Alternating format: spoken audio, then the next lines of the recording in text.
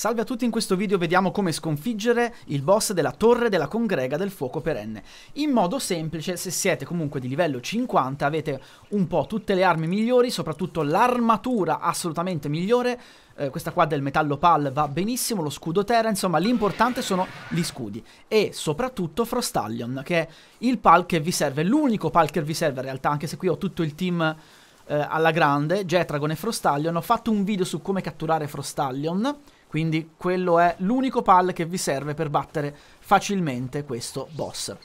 E, e, niente, come ho detto, le protezioni perché non si sa mai. Munizioni sì, ma neanche troppe. Quindi munizioni del fucile d'assalto, consiglio, e del fucile a pompa più che altro. Bene, la torre si trova qua a sinistra, qui. Quindi andiamoci e dovremo temporaneamente indossare la pelliccia per il calore, qui ho sbagliato, la dovevo indossare da prima, ma mi raccomando, una volta che siete dentro la torre, rimettete l'armatura in metallo. Ed ecco qua adesso il combattimento con Axel e Orser. Cosa fare? Allora, io inizialmente avevo provato con Jetragon, che sì, funziona, però gli toglie meno di Frostallion, da quello che ho visto. Quindi qua rimetto l'armatura.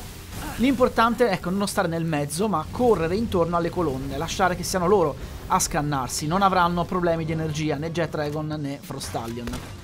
Eh, quando li sparate, sparateli sempre in testa per ottimizzare i danni. Frostallion lo andrà anche a ghiacciare, quindi vi consentirà di avvicinarvi più in tranquillità, ma quando non avete più gli scudi come in questo caso consiglio di allontanarvi e di recuperare non rischiate di perdere l'energia. Ecco, adesso lo scudo sta ritornando su, quindi posso riavvicinarmi e magari dargli anche addosso con un po' di fucile a pompa. Eh, controllate più che altro il timer, se vedete come in questo caso 7 minuti e sono a più di metà, va benissimo, non importa spararli troppo. Se per qualche strano motivo il vostro pal si inceppa, richiamatelo e rimandatelo e tenete insomma d'occhio questo rapporto fra tempo rimasto e energia rimanente del nemico.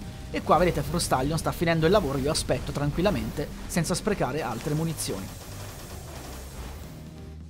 Ed ecco qua, boss sconfitto. Un saluto.